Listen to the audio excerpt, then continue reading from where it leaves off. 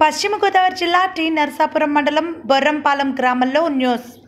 Corona మహమ్మారి జిల్లాలో పెరుగుతూ ఉంటే రాజకీయ నాయకులు అధికారులు ఎంతమంది చెప్పినా వినకుండా ఒకే ట్రాక్టర్లో మాస్కులు పెట్టుకోకుండా యాభై మంది కూలీలు దూరాన్ని పాటించకుండా మామిడికాయ కోతలకు వెళ్తున్న కూలీలు.